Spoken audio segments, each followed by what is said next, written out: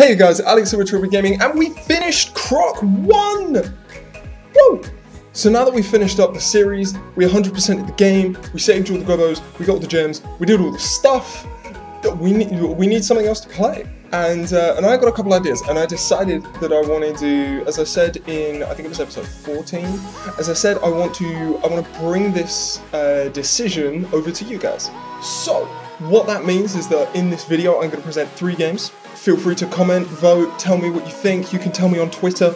And yeah, the one that gets either the most votes or the most amount of buzz around it will probably be the one that I do a series on. Do be aware that the ne that next Wednesday is going to be blank, only because I'm going to need a bit more time to sort of get things a bit set up for at least one of these games. So if one of these games is winning, then I'm definitely going to need to do a little bit of tech stuff. Going to obviously need to do the art and make the game run and all the other stuff. But the games are as follows.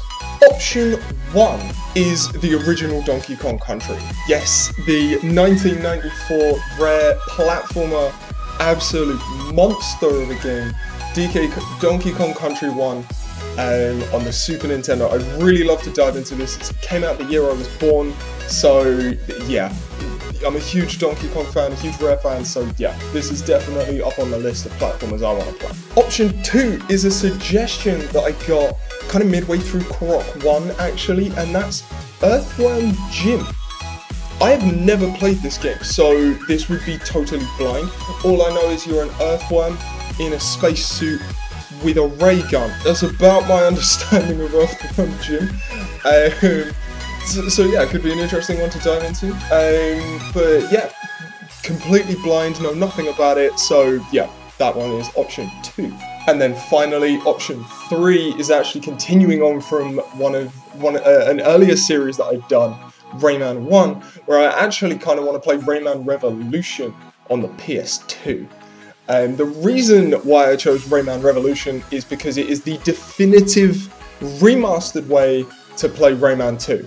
And of course, Rayman 2 The Great Escape has been ported to basically everything, but Revolution just brings in additional areas, like upgradable powers. There's like loads of there's loads of extra stuff in it.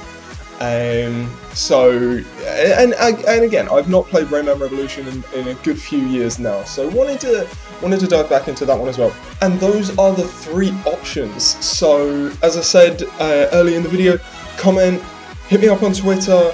Um, let me know what you guys want me to play. Um, give me a little bit of time. We will make we will we will make a new series, new platformers, and um, yeah, we can go from there. And if you have any other ideas of other games that you uh, that you think I should play, um, stick them in the comments as well. I will uh, I will I will make a wee note. Um, probably not be the latest series, but I'll definitely get around to it. So yeah, guys. Thank you very much indeed for listening to me ramble for a few minutes and for taking part, um, giving me your opinion. And um, yeah, if you like if you like this kind of thing, give it a like. Um, if you never want me to do this again and just want me to pump out series, then sure, I'll see what I can do. um, and if you want to see a little bit more of me and get a notification for when this next series comes out, feel free to subscribe, hit that bell button, and um, yeah, guys, take care of yourselves. And until next time.